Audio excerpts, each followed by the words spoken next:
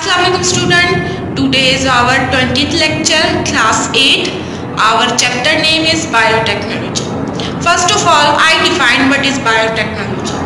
Biotechnology means those scientific techniques in which organisms, especially microorganisms, are used on industrial scale for welfare of mankind.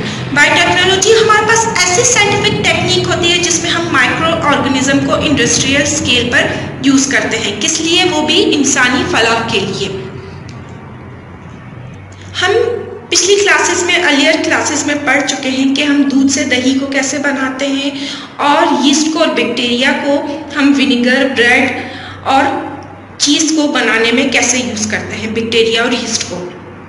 ये scientific method जो है हमारे पास जिसमें हम production करते हैं, ये हमारे पास फर्मेंटेशन कहलाती है, जिसमें हम लिविंग ऑर्गेनिज्म का एडिशन करते हैं। लिविंग ऑर्गेनिज्म हमारे और भी यूजेस में आता है, जैसे कि टिश्यू कल्चर हो गया जेनेटिक इंजीनियरिंग हो गया प्रिपरेशन ऑफ़ एंटीबायोटिक हो गया एंड वैक्सीन्स हो गया।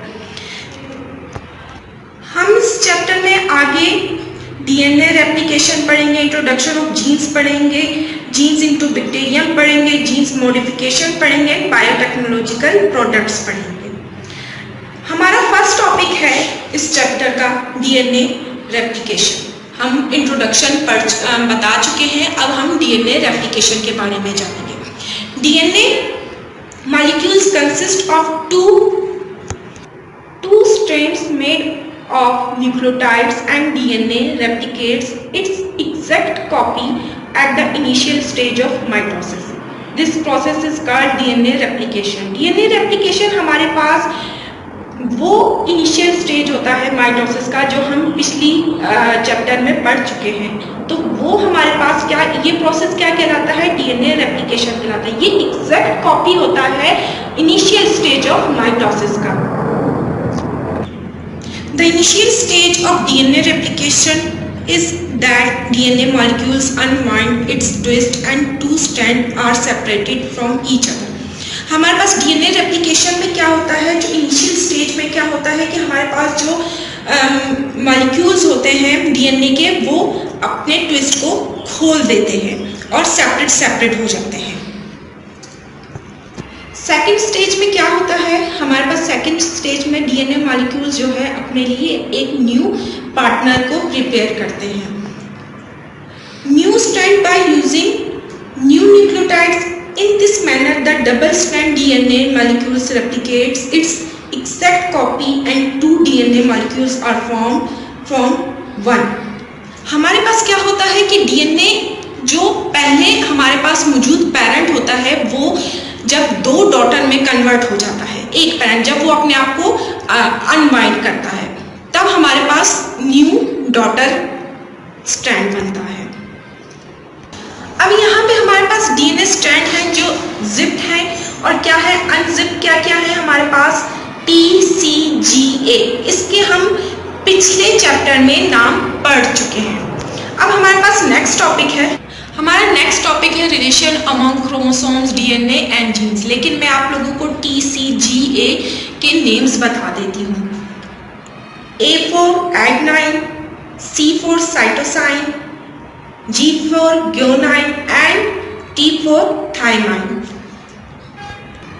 अब जबकि हम नेक्स्ट टॉपिक अपना स्टार्ट कर चुके हैं chromo relation among chromosomes and DNA and genes chromosomes हम पहले ही जानते हैं कि थ्रेड लाइक स्ट्रक्चर होता है which are parent present in nucleus of the cell जैसे कि मैं आप लोगों को बता चुकी हूँ कि क्रोमोसोम्स हमारे पास थ्रेड लाइक स्ट्रक्चर होता है, जो कि हमारे पास प्रेजेंट किसमें होता है? न्यूक्लियस ऑफ़ द सेल में होता है। ठीक है? Chromosomes are made of DNA और एंड प्रोटीन क्रोमोसोम्स हमारे पास डीएनए और प्रोटीन से मिलकर बनता है। डीएनए हमारे पास क्या होता है? हेरिडिटी मटेरियल होता है। Genes are specific sequence of nucleotide present on DNA और chromosome that helps in to production of special type of protein there are more than one thousand genes in a single chromosomes of human cell हमारे पास एक हज़ार से भी ज़्यादा jeans मौजूद होते हैं एक सिंगल क्रोमोसोम्स में, वो भी ह्यूमन सेल में।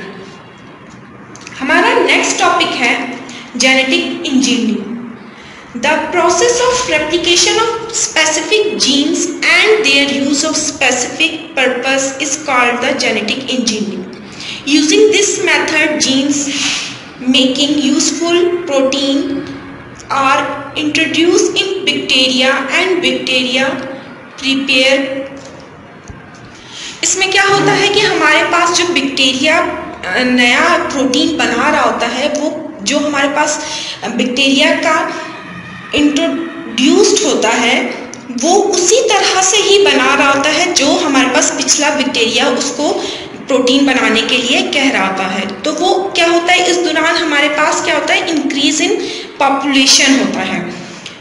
Genetic engineering is use for ये हमारे पास जेनेटिक इंजीनियरिंग यूज़ किस लिए होती है?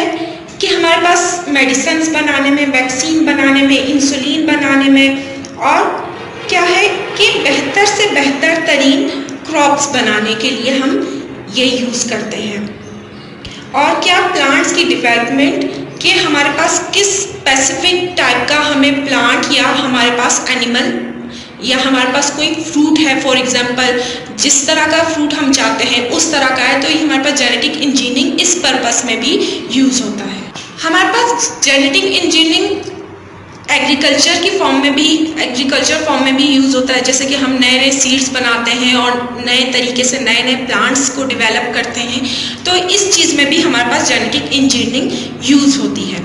जेनेटिक इंजीनियरिंग हमारे पास इंपॉर्टेंट बहुत ज़्यादा इंपॉर्टेंट है आजकल के दौर के हिसाब से। आज का टॉपिक हमारे पास यहीं पे ख़त्म होता है।